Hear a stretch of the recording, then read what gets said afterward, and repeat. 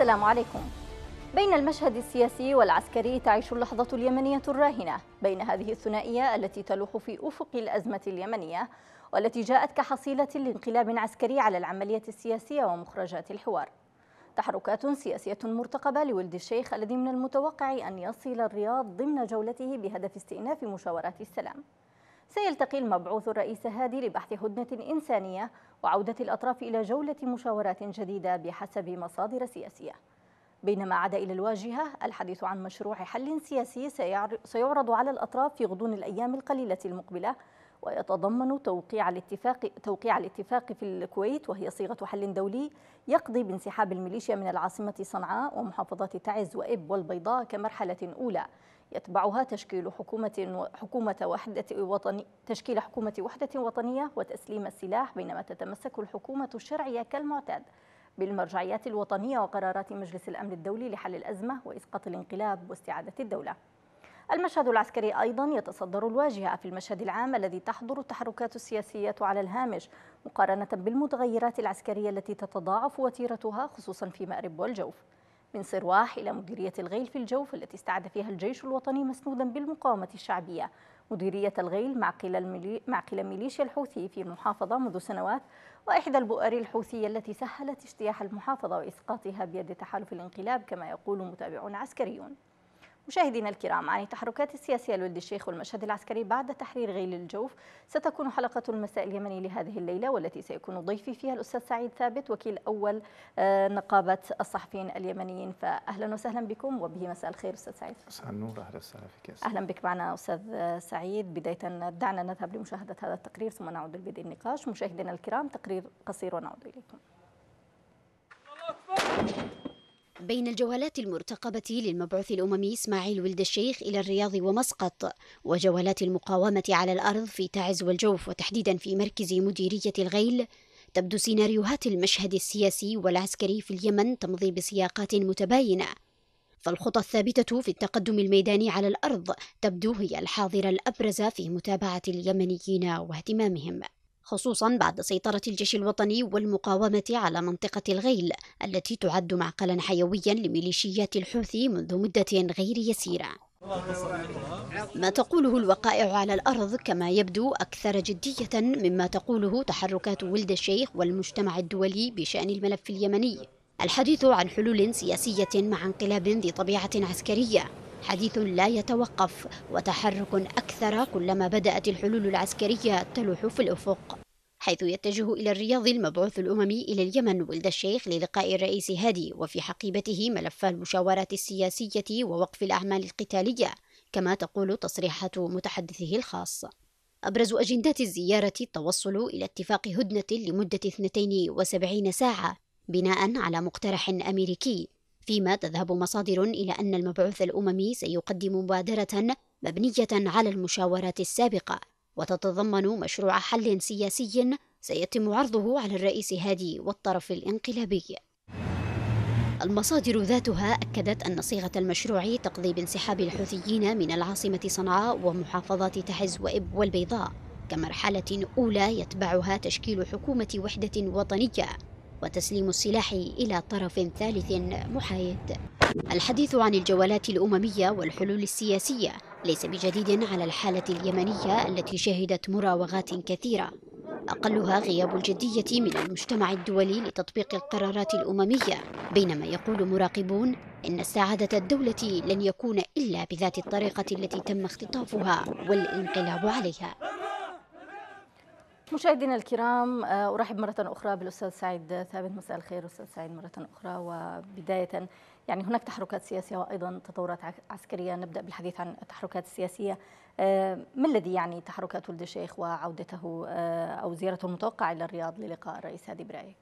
يعني هذا أمر طبيعي في ظل الأزمة اليمنية. كما تعلمين أن وقفت المشاورات أو المباحثات في الكويت قبل العيد بفترة وكان على أساس أن يتم التوقيع على الاتفاق. لكن يبدو أن الحوثيين صدموا ولد الشيخ ورفضوا التوقيع رغم أن الحكومة بادرت بالتوقيع الآن يعاد الأمر بعد ما ظهر وزير الخارجية الأمريكي ويتحدث عن حل سياسي آخر رغم أن المفارقة أن هناك قرار دولي نعم. والرعاة الدوليون هم أكثر الناس ينبغي أن يكونوا حريصين على تطبيق قراراتهم لكن آه، في هناك أطراف ربما دولية ترغب أن آه، لا يمر آه، الاتفاق أو الصيغة بإنهاء وجود الانقلاب إبقاء الانقلاب كعنصر ابتزازي للمرحلة القادمة.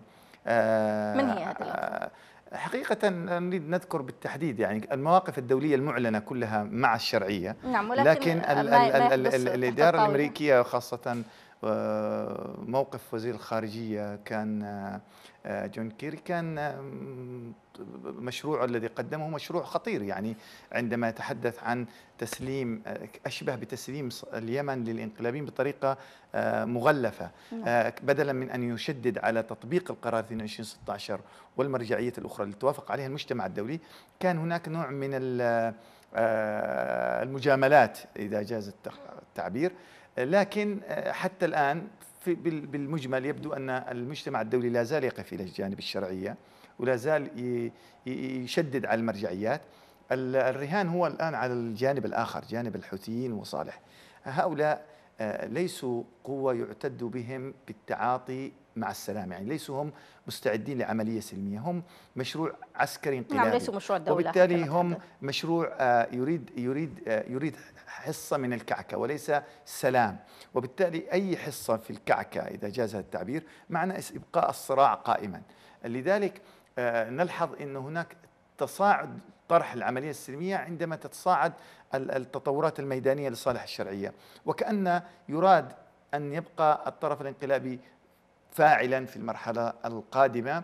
وربما هذه ضمن ترتيبات في المنطقة ومن بينها اليمن يعني نتوقع إذا أستاذ سعيد يعني أن الجديد الذي سيأتي به ولد الشيخ هو محاولة إقناع هادي وطرف المشاورات بهذه الحلول التي يعني تتحدث عنها أو والله لوح بها كيري؟ شوفي هو إذا أقنع بماذا أقنع؟ هو المشروع وقع عليه الجانب الحكومي في الكويت. تم التوقيع رسميا كما نتذكر تماما. نعم.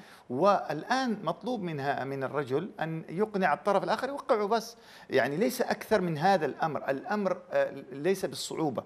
لكن أن, أن, أن يذهب ولد الشيخ إلى الرياض بماذا سيتطرح مع الرئيس هادي؟ الرئيس هادي قدم كل التنازل كما بدا. حتى القوى الوطنية وحتى القوى الحية تشعر بغبن إنه الرئيس هادي تنازل كثيرا تجاه المطالب الشعبية في إعادة كل إمكانات الدولة إلى إلى الحاضنة الشعبية. هذه كان يراعي هذا البعد يراعي بعد الموازين القوى في في العالم ووقع الاتفاق وقع الاتفاق في الكويت على أساس إنه الحوثيين وجماعة صالح سيوقعون كما أعطوا وعود لولد الشيخ أحمد، ولد الشيخ أحمد صارح العالم إنه الذي لا يلتزم كثير هم الطرف الآخر، الآن إذا ذهب إلى إلى الرياض أنا أعتقد أن توقعاتي أن الرئيس هادي والجانب الحكومي سيؤكدون على موقفهم المعروف نعم خاصة أنهم يعني أنه تم التوقيع ويوقع على الاتفاق ويؤكدون مرارا بتمسكهم بالمرجعيات, بالمرجعيات وبالاتفاق نعم. الذي تم التوقيع عليه في الكويت. أعتقد إنه اليوم الحادث أو العملية العسكريه هي من باب أيضا قد قد تجعل الانقلابيين يعيدوا التفكير في التعاطي مع العملية السلمية بشكل ما.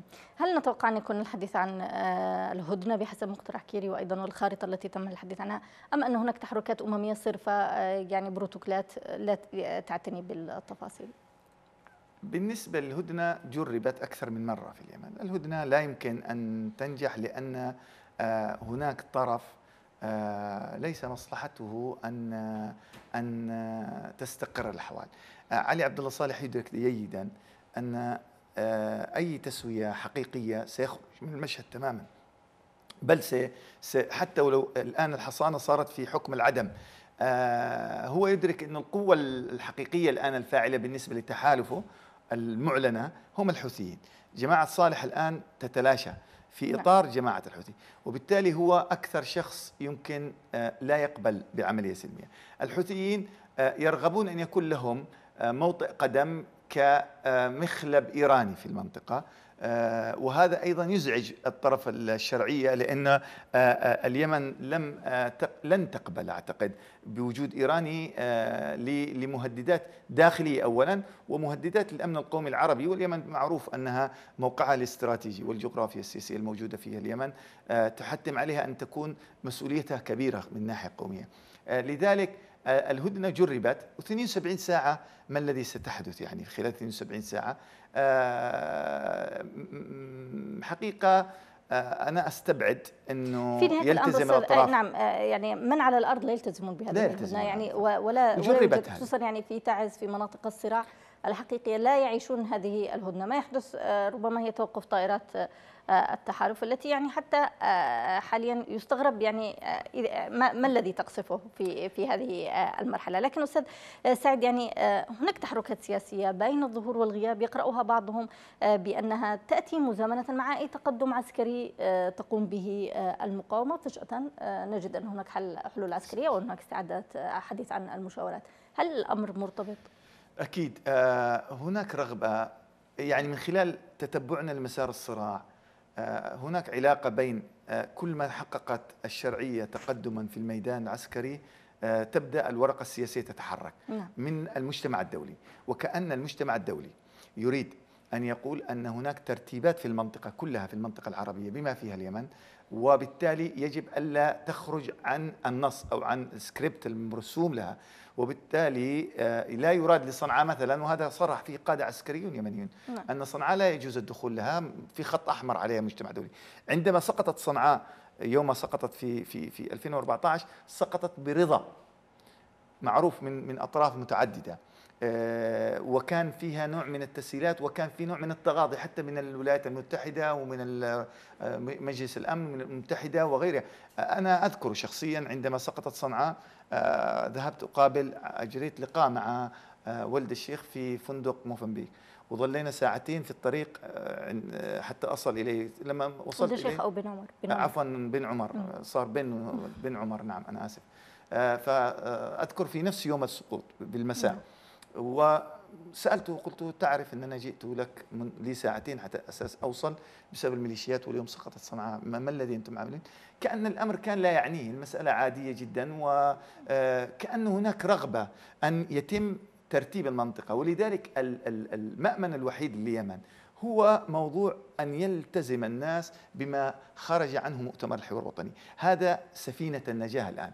غير ذلك تفتيت وتفكيك. لا يحلم أحد أنه يستطيع أن يحكم بخارج إطار سياق مؤتمر الحوار الوطني. آه، غير ذلك هو الدمار. دولة اتحادية هي الدولة الاتحادية وتوزيع الثروة والسلطة. ما في خيار لأنه الترتيبات في المنطقة واضح أن يعاد تشكيل الخريطة في المنطقة. فنحن بين خيارين. إما الدمار الشامل معنى الكانتونات الصغيرة جدا وإما أن نحافظ على الكيان الوطني اليمني في إطار اتحادي وليس وحدة اندمائية في وحدة اتحادية آه، مركبة آه، تحافظ على الهوية الوطنية اليمنية وفي نفس الوقت يتم التفاهمات فيما بين المكونات. لأنه لكن أستاذ يعني أليست هذه المرحلة أيضا آه، يعني هي استباقية قبل أن يسلموا الأسلحة الانسحاب من المدن. هذه الأشياء التي هي ربما أساسيات للوصول إلى هذه المرحلة من يعني الحديث عن شكل الدولة. هذا صحيح. موضوع التسليم السلاح وغيرها هو لابد أن تتشكل حقيقة مكونات الدولة. الدولة انهارت تماما. آه، اكتشفنا بعد أربعين سنة أن الجيش ثلاث أرباعه هو جيش عائلي. للأسف. نعم. وتحول إلى أداة بيد الميليشيا. وميليشيا خارجة من الكهوف. وأنهار كل شيء كنا نحلم أنه يكون دولة. الآن حقيقة في المرحلة الأخيرة خلال سنة تتشكل بداية نواة دولة آه، شرعية بصعوبة جدا لكنها بقدر الساعة تتشكل. تسليم الملي... ال... ال... الآن تسليم السلاح من قبل الميليشيات ليس لها خيار غير أن تسلمها للجيش الوطني وللشرعية المعترف بها دوليا بقيادة الرئيس هادي وبحكومة بن دغر. غير ذلك لا خيار لا لا لا موضوع الطرف الثالث هو آه، ملتبس وكأننا آه، هو التفاف لقرار مجلس نعم. ولذلك آه، تحديد تحديد مستقبل اليمن. واضح أننا نتجه بين شيئين إما أن تنهار أن الكانتون أن أن ننطلق من كانتونات جديدة وكيانات صغيرة جدا أو دولة يمنية اتحادية كبيرة غير بسيطة وإنما مركبة وهذا هو الخيار إذا كان القوى الحية سواء في الجانب الشرعي أو حتى في الجانب الانقلابي. هناك قوى آه، يمكن تشعر بمسؤوليتها يمكن أن تشكل سابقة أمام العالم. اليوم سوريا تتفكك بشكل كبير العراق نعم. تتفكك. ليبيا تتفكك. اليمن يراد لها ذلك لكن الرهان هو على العقلاء من الطرف الآخر. أما الجانب الشرعية هم قد تجاوزوا العقل إلى ما بعد العقل. يعني في نوع من التنازل الكبير حفاظا على الهوية الوطنية الذي هي تسمى نعم. اليمن. إذا إذا نعود للحديث عن هذه النقطة أستاذ سعيد ينضم إلينا أيضا عبر الهاتف. آه، الكاتب والمحلل السياسي عارف أبو حاتم من الرياض. مساء الخير أستاذ عارف. ألو السلام عليكم. وعليك السلام أستاذ عارف بداية لو حدثنا عن الزيارة المرتقبة لولد الشيخ برأيك ما الجديد الذي ستحمله هذه الزيارة؟ آه ولد الشيخ سيصل العاصمة السعودية الرياض للقاء الرئيس هادي يحمل ملف من شقين، الشق الأول يتعلق بالجانب السياسي واستئناف عملية المفاوضات الشرعية والانقلابيين، لكنه في هذا الجانب لديه رؤية تصطدم مع الأمريكيين. والشق الآخر من الملف هو عسكري أمني يتعلق بهدنة ل 72 ساعة آه، ووقف العمليات القتالية. لأن آه، كلا الملفين متكاملين ولا يمكن فصل طرف آه، ملف عن آخر. الشيء الذي أستطيع أن أحدثكم عنه هو مسألة الخلاف الدقيق الموجود ما بين الرؤية الأمريكية اللي قدمها جون كيري ورؤيه ولد الشيخ، ولد الشيخ يقول أن رؤيته تنسجم تماما مع روح القرار 22 16 نعم. تتحدث عن وقف عملية وقف إطلاق النار آه، تشكيل حكومة وحده وطنيه لا عفوا وقف إطلاق النار والانسحاب من المحافظات وتسليم السلاح الثقيل المتوسط إلى الدولة اليمنية وعلى الأقل في المرحلة الف اللي هي صنعاء وما حولها وتعز والحديدة وإضافة إلى ذلك عملية دخول المساعدات الإنسانية إلى المحافظات. نعم. رؤية كيري تتحدث عن وقف 72 ساعة للاقتتال والذهاب نحو تشكيل حكومة، الأمريكيين شديدين الحرص على أن يحتفظ الحوثي بكامل سلاح الدولة وعلى تشكيل دولة ذات كيان هزيل تكون لدينا دولة خالية من السلاح ويوجد فيها أحزاب ومنظمات و لماذا لماذا تحرص أمريكا على ذلك أستاذ عارف؟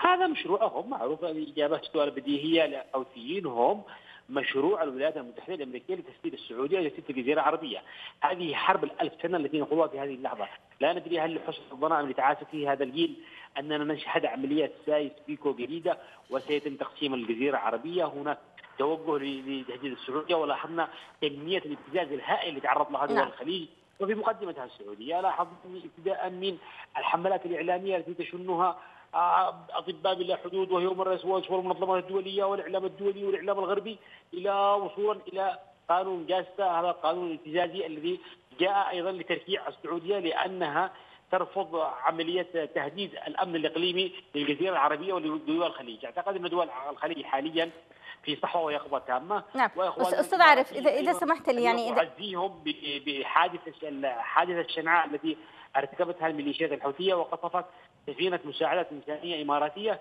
بدعوى أنها سفينة حربية.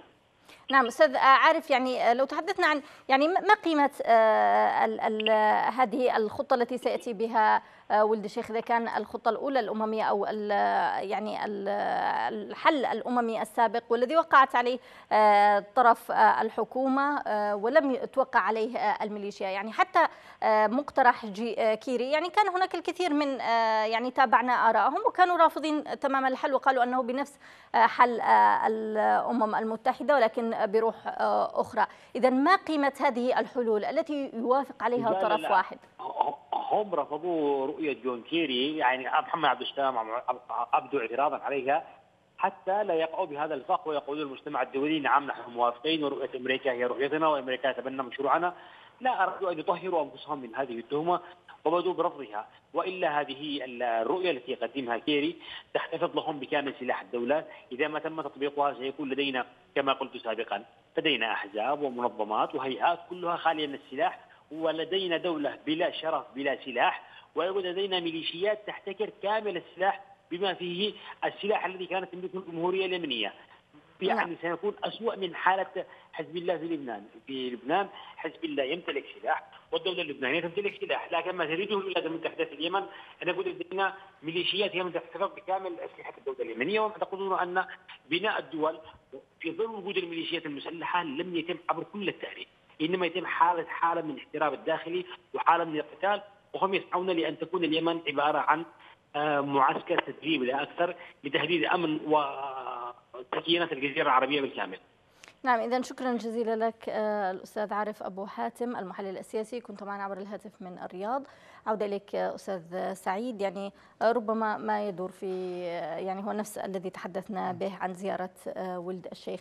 ولكن أستاذ يعني المتابع لمجريات الأحداث في اليمن سيلاحظ أن الدولة تم اختطافها الانقلاب عليها. أيضا بعملية مسلحة وربما برضا دولي كما تفضلت. كيف يمكن استعادة الدولة إذا مع بحل سياسي مع ميليشيا مسلحة مع طرف انقلابي؟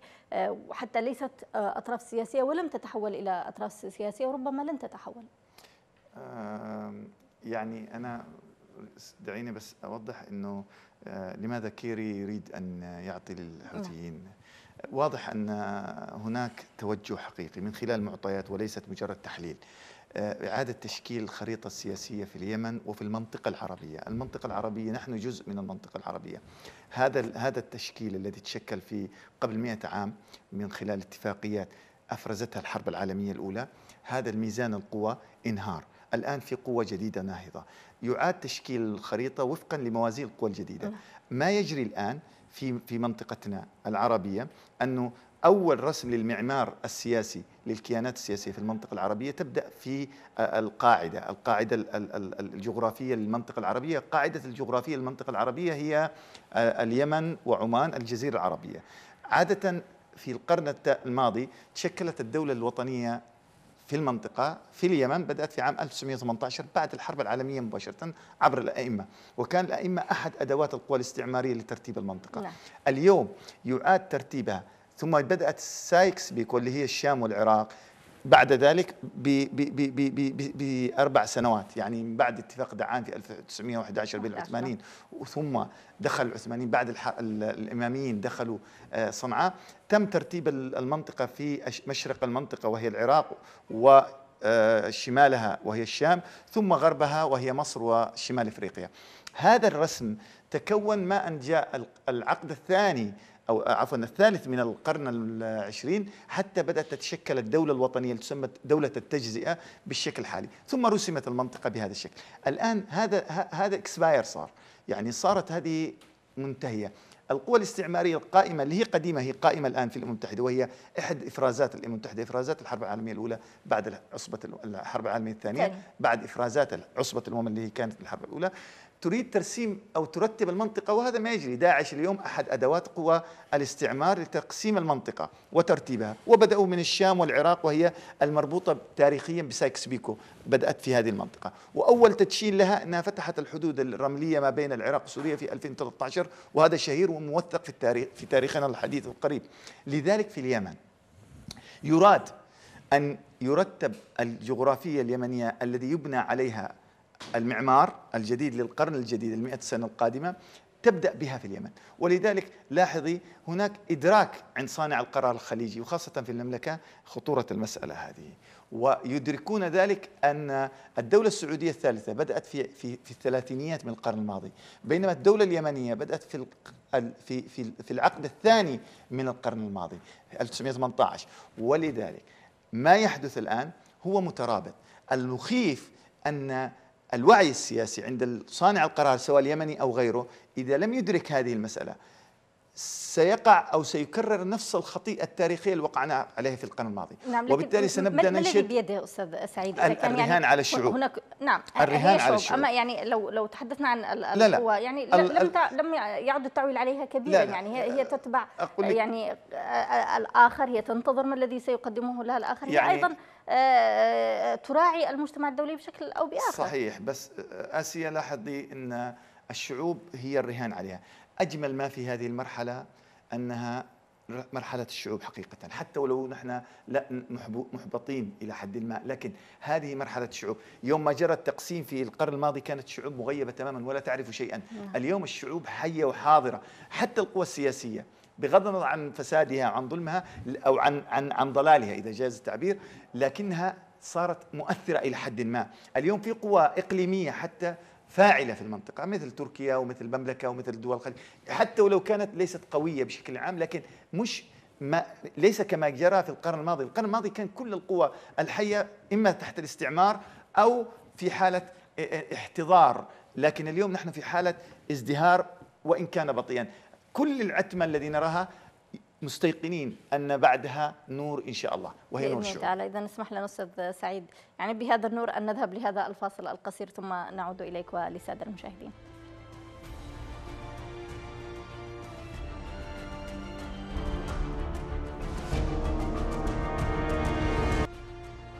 أهلا بكم جديد مشاهدينا الكرام. جدد ترحيبي بك أستاذ سعيد. أستاذ سعيد قبل الفاصل يعني كنت تتحدث عن أن الأمل والارتهان هو آه، للشعوب وهناك اختلاف كبير بين القرن الماضي وهذا آه، القرن. ولكن يعني آه، ألا تخذل أيضا الشعوب من قيادتها؟ لا تحتاج هذه الشعوب إلى قائد يستوعب المرحلة أيضا؟ لأن المسألة ستصبح عشوائية بهذا الشكل. صحيح لكن هذا القائد لا يص... لا لا يؤتى من السماء هكذا ينزل. لهذا القائد يعترك في وسط الشعب ويظهر من الشعب والشعب يظهره.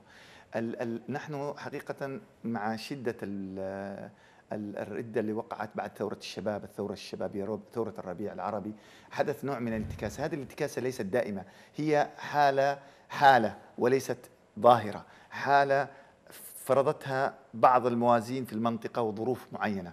لكن كما يقال الناس حققوا لحظة سجلوا عصر لم يحدث منذ مئة سنة. أن خرجت جماهير تريد أن تقرر مصيرها بنفسها. الشعوب العربية لم تحدث لها في الفترات الماضية كانت تنتفض انتفاضة مسلحة. بمعنى كانوا يخرجوا لكي يتحرروا من الاستعمار بحركة التحرر الوطني. هذه المرة حركة تحرر شعبية ضد الاستبداد أكثر مما هو ضد الاستعمار.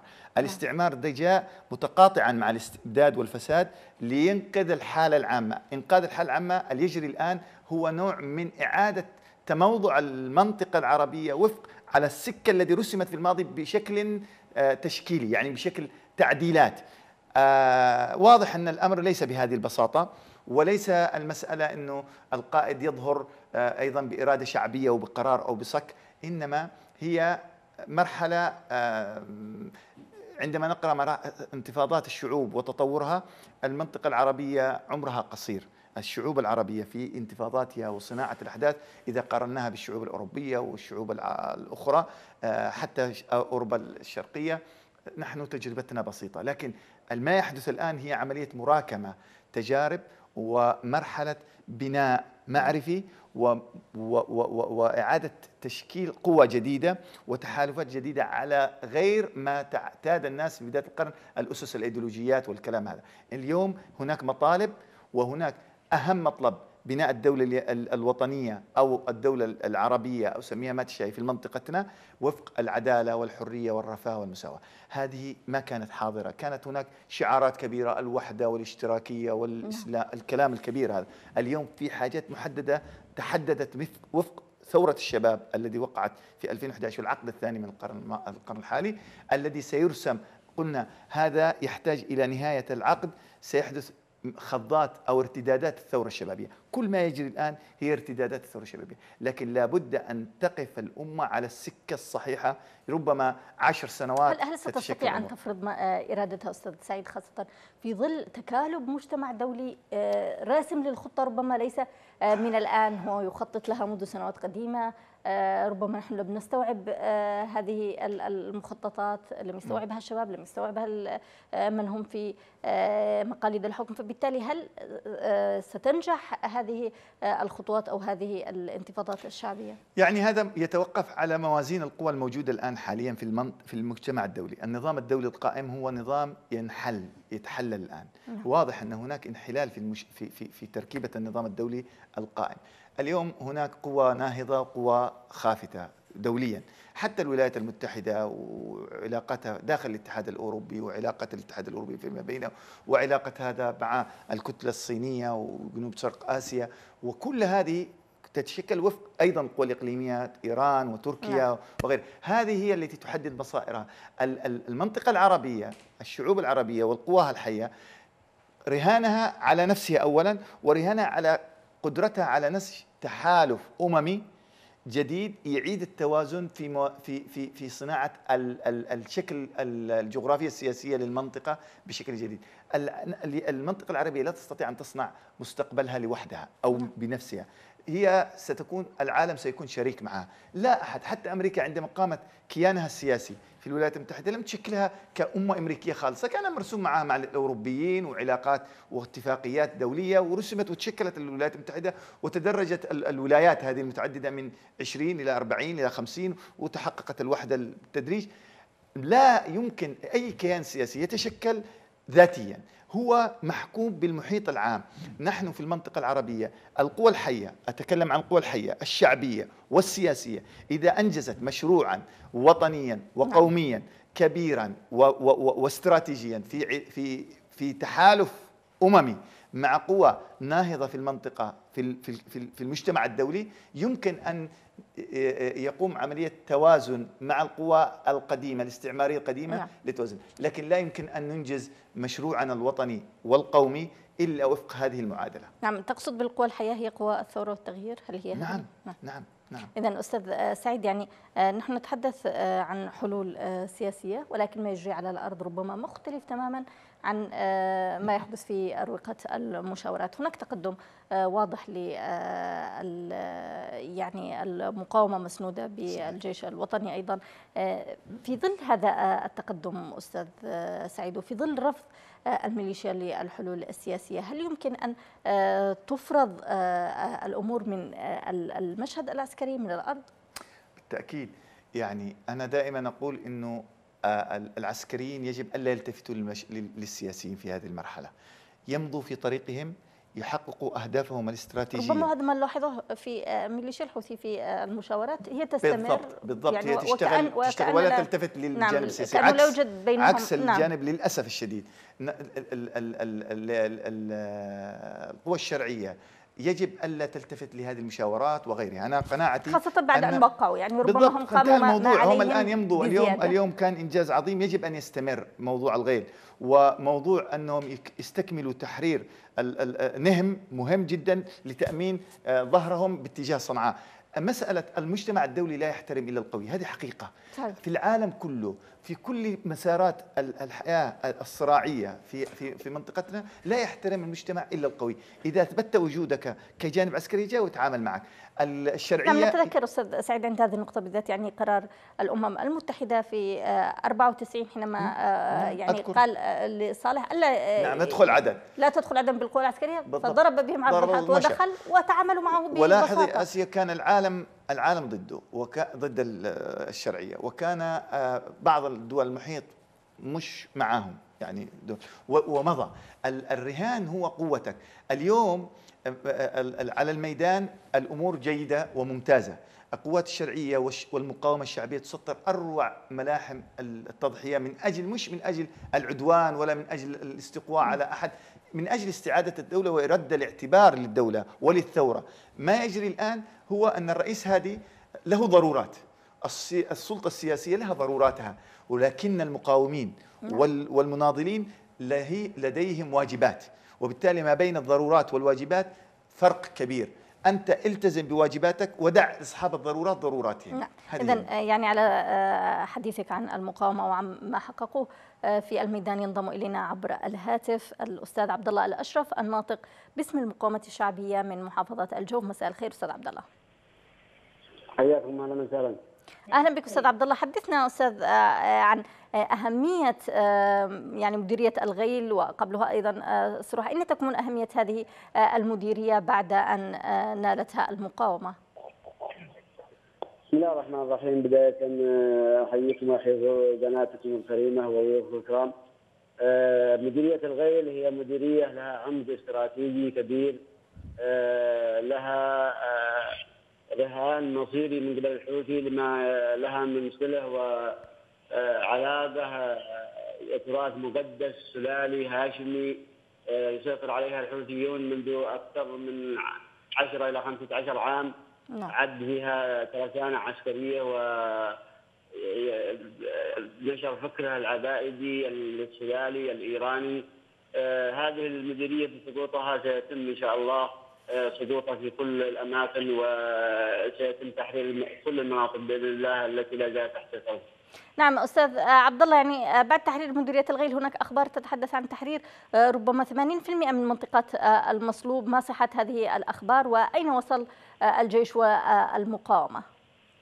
نعم بالنسبة للمصلوب هي المديرية التي تدع غرب هذه مديرية الغيل. وقد تم تحرير أكثر من 80% منها ولم يتبقى إلا قرية ملاحة وكذلك النعمانية. وتحت نيران المقاومه الذي هو مركز النعمانيه بالنسبة لمديريه ملاحة لا يأتي منها أي مقاومه أو ردود من قبل الميليشيات الجيش المقاومه الآن سيتجهون إلى تحرير معسكر النعمانيه نعم. ضرب المطلوب ومن ثم تحرير استثمار تحرير مديرية النتون. نعم ما الذي سيأتي بعد المصلوب؟ هل أنتم ماضون في التحرير قدما أستاذ عبد الله حتى لو عادت المشاورات؟ لا يوجد لدينا أي مشاورات مع الحوثيين ونعلم أن هذه مجرد انقاذ أو إعطاء فرص لهذه الميليشيات الحوثي الميليشيات لا تعترف بهدن أو حوارات أو وإنما تتخذ ذلك لترتيب أوراقها فقط. نعم. اذا شكرا جزيلا لك عبد الله الاشرف الناطق الرسمي باسم المقاومة الشعبية. كنت معنا من محافظة الجوف. عودة إليك أستاذ سعيد. يعني هناك تقدم ملحوظ وهناك أيضا إصرار على الاستمرار حتى لو عادت المشاورات. هل يمكن؟ يعني ربما كنا متحمسين بهذا الشكل أيام نهم ولكن بدأت المشاورات وتواصلنا مع الشباب هناك وقالوا لنا جاءتنا أوامر أن نتوقف. هل يمكن أن يعاد السيناريو؟ بنفس الأخطاء؟ يعني إذا إذا استحضرنا حقيقة من الرئيس إلى أصغر مواطن هناك دولة اختطفت وهناك شرعية انتهكت وهناك قرار دولي صدر لاستعادة وتصويب المسار. كل شيء يجب أن يعاد إلى مكانه. كل المشاورات يجب أن تنصب لهذا الأمر. ليس هناك لا المجتمع الدولي ولا غير المجتمع الدولي يفرض شيء غلط. بمعنى أن اللي يحدث الآن حتى لو جرت مشاورات حتى لو جرت هدنة 72 ساعة. هذا مسار يقوم به السياسيون. لكن ما دام الميليشيا تحمل السلاح وما دامت المدن محاصرة وما دامت الدولة مختطفة فمن حق الشعوب أن أن تدافع عن نفسها وتستعيد دولتها. بعد ذلك بالتأكيد الدولة لديها ضرورات كما قلنا. نعم. الضرورات هي أن تلتزم أمام المجتمع الدولي لتنفيذها. هي بالتأكيد ستوجه قيادتها أو أفرادها العسكريين بالالتزام. لا, لا, لا عتب في هذا. لكن هل هذا يسقط حقيقة أن دولة مختطفة ونظام سقط بيد ميليشيا؟ لا يسقط. نعم. وبالتالي ال ال ال الرهان هو على المقاومة الشعبية وعلى الأحرار في في في في المناطق التي سقطت بيد الميليشيا. لأن يستعيدوا ويعيدوا هذه القطع المخطوفة إلى مكانها الطبيعي حفاظا على هوية اسمها الهوية الوطنية اليمنية اعتزازا للذاتية اليمنية مراعاة لتاريخ وعظمة الإنسان اليمني الذي أسس أول الدول في التاريخ البشري قبل كثير من الشعوب هذا نعم. هو الرهان أعتقد أن عبد رب الرئيس عبد رب منصور هادي وحكومته لا يمكن أن يتجاوزوا ما اتفق عليه مع الشعب وهو تنفيذ القرار والمرجعية الأساسية وبالتالي ليس هناك ما سيعطيه هذه أعتقد أكثر مما أعطاه في الماضي نعم. إذا أستاذ سعيد دعني أستغل وجودك معنا كونك أول نقابة الصحفيين اللبنانيين بالحديث عن الصحافة في يعني عهد الميليشيا ربما التحركات الأخيرة في الفعالية المصاحبة لاجتماع مجلس حقوق الإنسان في دورة 33 هل تعتقد أنه أثر على المستوى الإعلامي وسيكون له أثر في المستقبل في الضغط على الميليشيا على الأقل الإفراج عن المختطفين للكف عن التعذيب يعني قمع يعني توقيفها عن الممارسات التي تقوم. يعني يا سيا هذا سيسهم إلى حد ما. أنا دائما أقول الميليشيا لا يخضعها إلا قوة السلاح. غير ذلك مجرد عامل مساعد ما يجري على المحافل الدوليه أصلا هذه ميليشيا لا تعرف المجتمع الدولي ولا تحترمه ولا هي مجرد مخلب لدولة أخرى اسمها طهران أو إيران وبالتالي ولكنها تهتم به ولكن دليل وجودها القوي في هذه المحافل الدولية وعندها حضور عندها حضور عبر أدوات المظلوم. عبر أدوات نعم عبر ادواتها وكذا لكن لا تراعي في الداخل لا تراعي شيء اليوم أسيا ليس هناك إعلام ولا في الصحافه نعم. داخل صنعاء لأول مرة في التاريخ الصحافة مش موجودة داخل صنعاء. القنوات مغلقة المراسلون لا يعملون داخل صنعاء. كل شيء يعني ستار حديدي داخل العاصمة المسيطر عليها نعم العاصمة. لذلك الحرية تذكرني للثلاثينات والأربعينات أيام الإمامة. ليس هناك شيء اسمه مكونات دولة. لا موازنات صارت اليوم البنك الدولي خلاص انتهى. الصحافة والإعلام انتهت. الحريات منعدمة المساجد مؤممة. كل المنابر الرأي موقفة. الصحفيون لدينا 12 صحفي أو أكثر في السجون لا أحد يتكلم عنهم الغريب طبعا تحركت نقابه الصحفيين عبر الاتحاد الدولي مشكورة في باريس وغيره وعملت فعاليات كبيرة وكان لزملائنا الموجودين هناك دور عظيم فيه لكن هذا للأسف إلى الآن لم يحرك ساكنا الأمم المتحدة خاصة الأمم المتحدة نعم. لو أن صحفيا واحدا أسر في إحدى الدول الأخرى لقلب المصالح لكن إحنا في اليمن لأن هذه هذه هذه الميليشيا مثلها آه، هي أحد أدوات الترتيبات في المنطقة كما يبدو. آه، يراع تراعى دوليا. لذلك لا لا يغضبون منها إذا إذا انتهكوا الحريات. إلى الآن آه، في تقييم لمراسل بلا حدود أن الحوثيون هم والداعشيون آه، متقاربون. يعني المرتبة الأولى وذاك المرتبة الثانية يعني ربما يتطورون في, في هذا ويمكن يأتوا المرتبة الأولى في تسابق بينهما الاثنان في بالنسبة للصحافة. عندهم عدائية شديدة. آه، كل من عارضهم كل من عارضهم قاومهم أنتم وكل القنوات اليوم مصادرة مكاتبكم ومكاتب كثير من القنوات في صنعاء. لذلك لدينا صحفيين إلى الآن تحت الاختطاف. لا نعرف وضعهم يتعرضون لتعذيب بشع. ناشدنا المجتمع الدولي حركنا فعاليات كبيرة. لم نجد أي تفاعل من ناقشنا في مؤتمر عمان. كنا في مؤتمر عمان حول وضع الصحفيين. آه، زملائنا وشركائنا في في الاتحاد الدولي. قالوا حنرسل فريق لصنعاء. قلنا لهم إذا بترسلوا صنعاء من شان بس آه، الحوثيين بيستغلوها اعلاميا ما, ما بدنا إياها. نريد إذا كان هناك اتفاق إنكم أنتم ستستلموا الصحفيين ستخرجوهم نحن موافقين. أما إنه مجرد مظاهر ويستثمرها الحوثيون على إنه في حريات هذا غير مقبول. آه، على كل حال وضع الصحافة وضع بائس جدا. آه، لم تشهد الصحافة بهذه الكارثة التي تعينا لم يشهدها إلا يعني منذ 62 إلى اليوم لم تعرف الصحافة هذه النكسة أو هذه النكبة الكبيرة الذي يعانيها زملائنا. كل زملائنا مطاردين كل زملائنا آه، مشردين اليوم في كل الأقطار أو مختبئين أو بعضهم في اللائحة السوداء يعني ومتهمون أيضا في نهاية الأمر بالعمالة والارتزاق نعم يعني. صحيح. إذا شكرا جزيلا لك أستاذ سعيد ثابت وكيل أول نقابة الصحفيين اليمنيين. كنت معنا في هذا المساء اليمني. الشكر أيضا لكم. مشاهدينا الكرام لحسن متابعتكم. لن ألتقيكم في مساء يمني جديد. كونوا برعاية الله وأمنه.